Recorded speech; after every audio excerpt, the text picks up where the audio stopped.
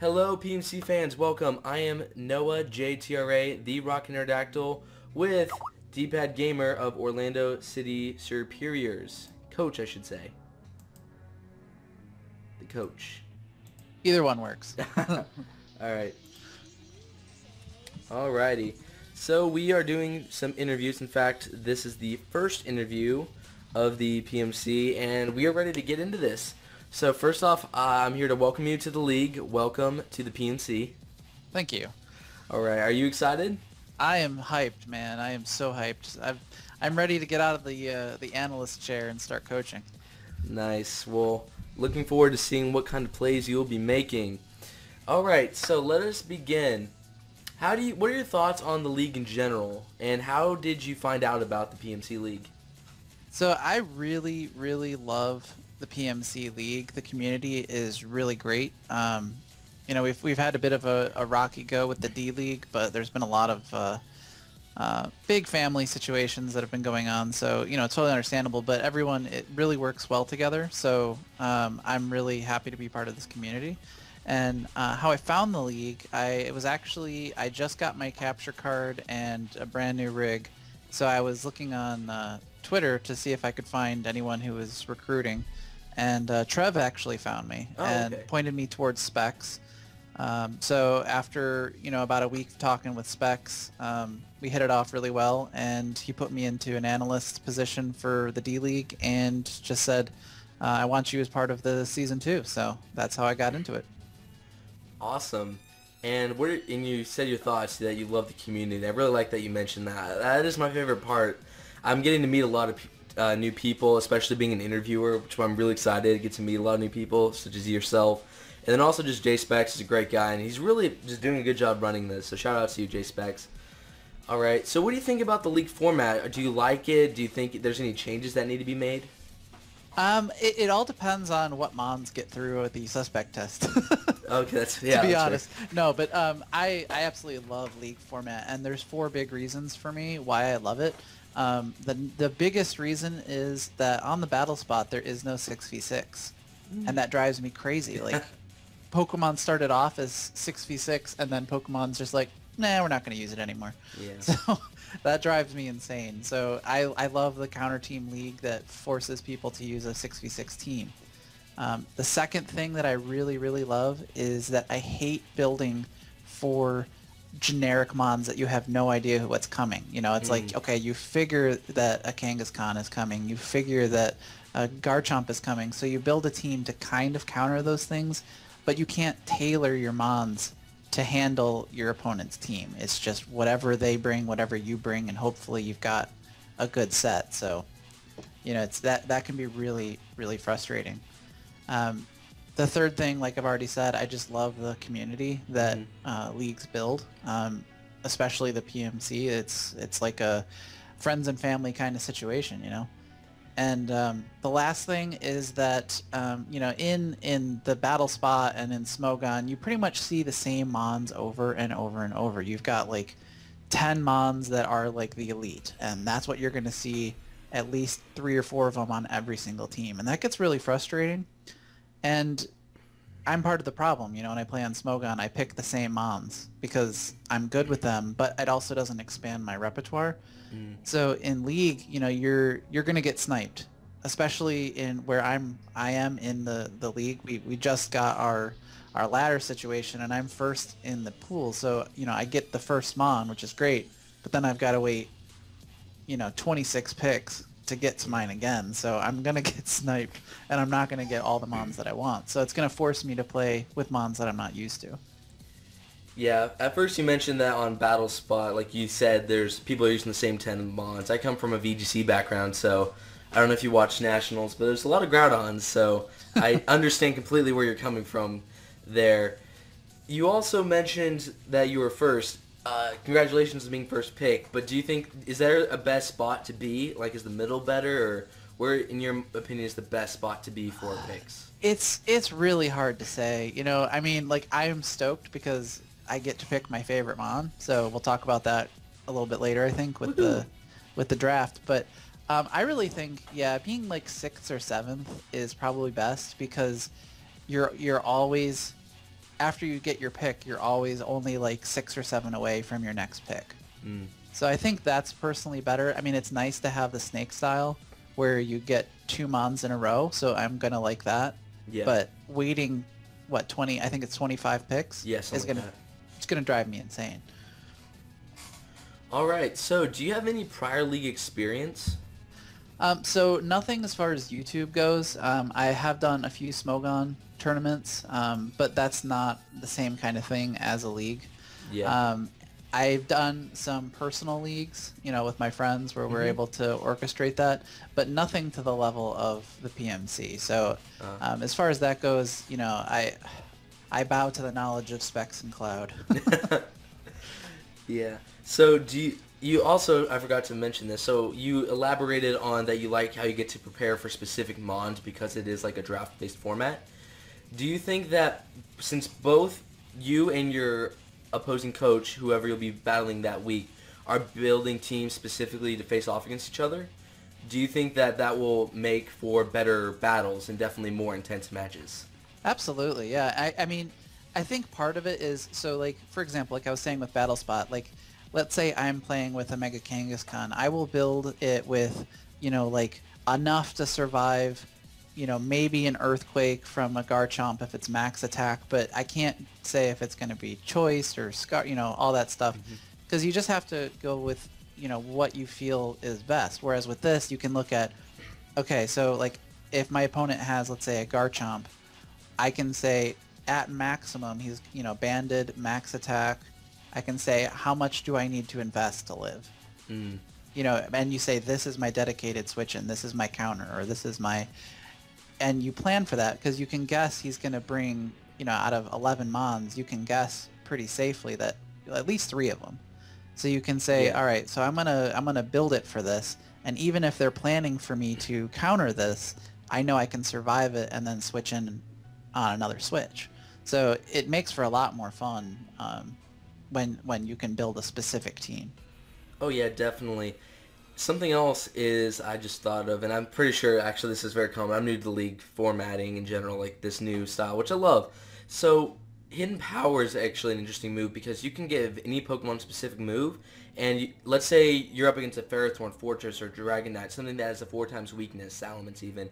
Do you like that the ability to let's say you could do Pokemon that would normally be weak to that mod, but then run hidden power that's four times super effective? Do you like to do surprise things such as that? I do. I uh, actually my favorite thing to do is natural gift Oh, because it does it does exactly the same thing, but it's physical. So it's it's a lot less expected than even hidden power. I've seen it run a lot where you know you're not going to run hidden power Scizor, Yeah. and people tend to forget that natural gift is a thing. So if I run a physical natural gift, you know, fairy type move on a Scizor or whatever, you know what I'm saying? Like Mhm. if they switch a fire type in and I have a water um, natural gift, Yeah. that's going to be extremely surprising to them, and I love doing that kind of stuff. So, when it comes to team building, what do you think is your greatest strengths when it comes to designing a team?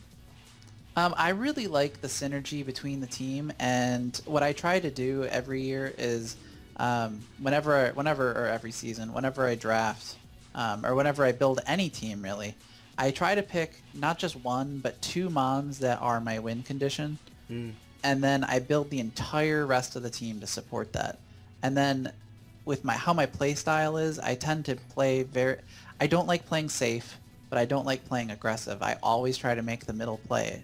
So, for example, like um, we've seen a lot of times, like in the GBA and um, UCL and stuff like that, where um, people will make they're like, oh, you know what? There's no way they're going to stay in because you know X, Y, and Z. So I'm going to do this crazy play that's going to do no damage if they don't switch, and then they don't switch, and then they lose all their momentum. Mm. And they could have just done a middle ground play. Like I think two weeks ago, uh, A Drive was in with his uh, Mega Altaria, and he did a Fire Blast on a mon that took no damage from it. When he could have just done a return, and even if the person switched, it would have done a butt ton of damage. Yes. So it's like, I, I don't like making those plays. So I think the combination of building a team that supports itself and then not making crazy plays are my two strengths. Alrighty, sounds like some cool plays are going to be made by you. Looking forward to that. I liked how you talked about how you like to do the middle play, like not play too safe, or but also not be too aggressive, because then that can overly cost you. So I do like how you talked about how you like to be in the middle. I think that's a really you know interesting and also smart choice. But when it, so you also t- you cover this a lot already, but I, you know next question is when it comes to battling, you know what do you think is your greatest strength? And I think you already elaborated on that when you said you know using synergy and making the you know good middle play. It's not too aggressive, not too safe. Is there any other strengths you wish to talk about? Um, yeah, I mean, like you know, I I really like uh, building a team where you're not you're not like shoeholed into something. So, for mm-hmm. example, um, I don't like mons that they're only they have like a niche situation yeah. where like okay, I'm gonna hit you four times super effective, so I'm gonna bring this mon, and then they don't bring that mon. Mm-hmm. That drives me crazy. So like for I like mons that are going to be able to spam something that is not resisted by a lot of things on their team. So I love bringing like you know high damage return movers.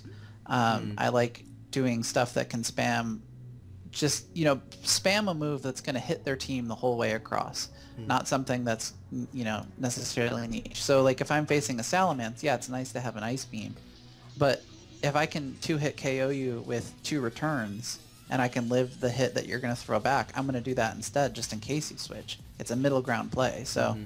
um, it, it kind of goes back to those middle ground plays where i'd i just i'd rather play it as um, where I can kill you in two hits instead of making a crazy hit, you know, that that's going to throw me behind. Yeah, again, great answers. I really like that. So we talked about your greatest strengths. Are there any weaknesses that you have when it comes to battling? Um, so I think my biggest weakness is um, really when you get on tilt and then you start throwing mons out that don't make sense. Mm. Um, I talk about it in some of my videos how sometimes like the, the last the last uh, game I actually played I had 90 seconds left on the counter, so I got up, I left the camera even though I was live recording, got a drink of water, came back and played, and then I was able to finish out. But sometimes I forget to do that, and when I get on tilt, it ugh, it's an ugly situation. So. Alrighty, so I'm sorry. Do you have any plans you want to go into the draft? Like, is there any like strategies you have in mind you want to go, or any specific mons you want to use? Yeah, so because I get the first round pick, I'm picking my favorite mega, which is Mega Lopunny. They're nice. It it's disgusting in league format. It can like I said like I was saying before, it is the perfect middle ground player because especially with Scrappy.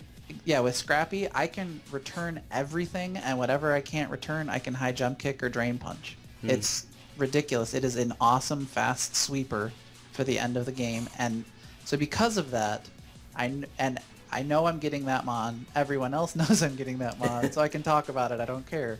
But the next the next mons that I'm going to be picking are going to be mons that are supporting that.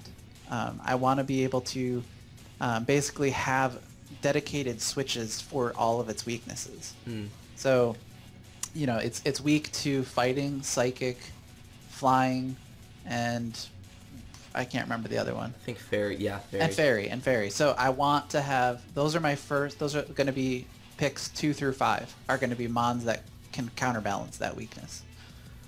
Nice. And my next question is, you know, how do you go about drafting? But you again, you already covered this earlier. You like to build mons to support your, you know, favorite mega in this case, and then to you know really help counterbalance the the uh, weaknesses of that main mon. Yeah, that's pretty much it. I mean, you know, like, so in this case, you know, Mega Lopunny is a fast sweeper, so I'm going to need to have, um, I, I, like to have, you know, like a dedicated physical wall breaker, a dedicated special wall breaker, and then moms to cover those weaknesses. So that's pretty much how I'm going to build the team is, is based on that. And we'll see, you know, how it goes because I can't, waiting 25 picks, I can't, I can't really make a, a plan past that. I just, so I, am looking at like all of the psychic types and being like, what are the bulky psychic types? And then as the draft goes through, I'll just be crossing off the ones that I get sniped. Alrighty. Um, do you believe, like, what in your opinion is the most overrated Pokemon in this format, specifically this league format? So are we talking mega or are we talking Just in Well, general. just like in general? It can be Uh, mega, non-mega.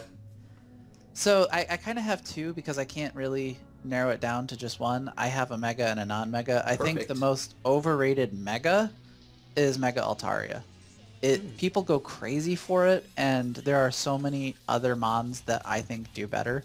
It's and the reason I say that is the same reason I pick my non-mega as Mew, because they're good at a lot of things, but not great at anything. Mm, I see. Now, I did like that you mentioned the Mew because I like Mew's a great wild card Pokemon. Like it can do a lot of things. So, good choice. Yeah, yeah. I mean, they're so. I mean, I'm not saying either one is bad. No, but I, yeah, I get what you're saying. I. I just I don't think they're worthy of round one or even round two picks. So, you know, that's that's kind of where I'm at with that. Alrighty.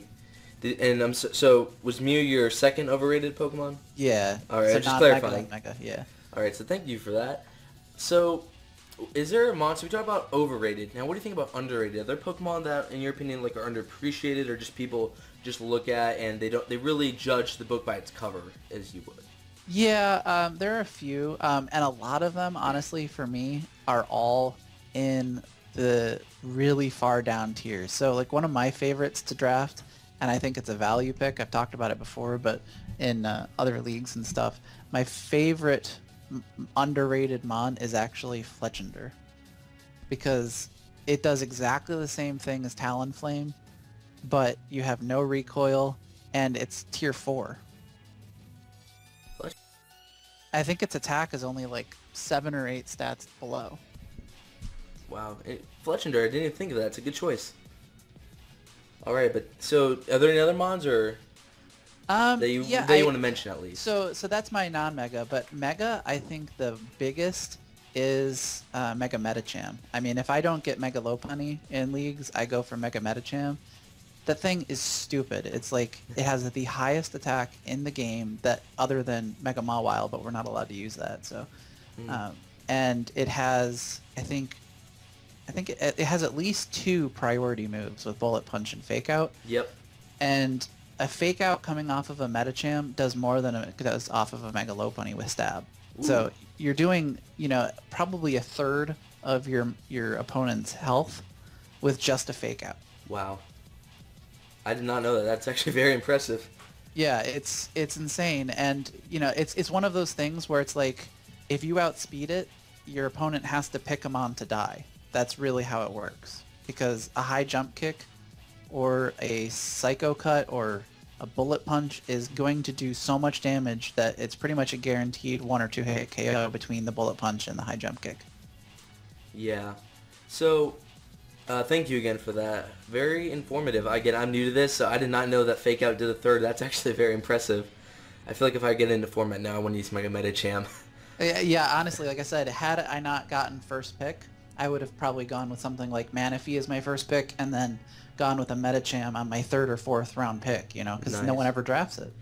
yeah, definitely love that. So good, again, good inspiration in general. I'm sorry, inspiration. Good information in general, and uh, I hope most of my the coaches I interview are more informative because I'm very clueless in this format. So, uh, do you have any expectations for yourself? You know, going into the new season, is there a certain like goal you have, or you do you, you want to make top cuts? Is there anything you expect for yourself? Um, so looking at the we we got uh, the our our uh, conferences Mhm. now. We have our divisions and conferences now, and I think I'm honestly in the toughest conference or division because I've got uh, Specs and Cloud in the Ooh. same. yeah. So like for and I have to face them twice. So really, my expectations going in, I would love to just get the wild card. If I can get the wild card, I will be thrilled. Awesome. Yeah, that wild card definitely. Yeah, uh, wild cards. Let's talk about that. How do you feel about wild cards in general? Like, do you like that they have them, or? Absolutely, yeah, because I think that, you know, getting into it where you only have, you know, the top cut for each Mhm. each uh, division, there's been a lot of upsets, you know, and and so like going go talking about football because I'm a big football fan. So like, um, as an example, the Giants were a wild card and then they beat the Patriots in 07. So it's like that that I love that. I love that you can have someone who what didn't do great in the season and then was able to finish up super strong. So Yeah. Alrighty. So when it comes to battling, do you have any inspiration based like that? Any anything that inspires your style or your mons? Anything in particular? Um, so like, it's hard to say. Like, are you talking like inspiration off of other players or? yeah, and well, I'm sorry. Yeah, I should have said anything or anybody. My Okay. Um, yeah. So like, I really obviously there's people like you know Pokieaim and um, and MV and people like that who are just like gods in this format or in any format. You know, they touch Pokemon and they win. um, so you know that that obviously has has something to do with it. Um, but I think one of the biggest, one of the ones that got me the most excited was um, season three of the GBA with Mogwai. His his play style is pretty similar to mine, um, and that season he really just showed why he was so good. I wish he continued that, but um, I, I really like how he plays, and I try to kind of copy that because he really likes the middle ground plays. He doesn't make a lot of stupid aggressive plays or safe plays, and that's kind of how I try to play myself.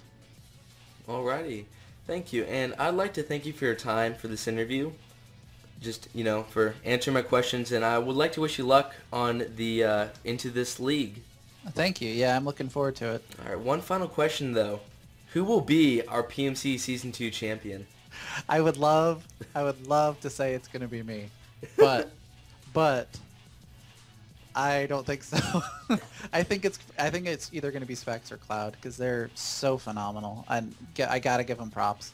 So you know, like I would love, I would love just to, to be you know maybe in the finals against one of them, but I, it's it's one of those situations where you know I'm not as skilled as they are, so it's gonna be it's gonna come down to hacks if I if I beat them. oh, so many memories flooding me right now with the word hacks. yep. All right, well, again, thank you for your time. And again, guys, for those viewers at home, this is D-Pad Gamer of the Orlando City Serperiors. Thank you again for your time. Thank you. All right.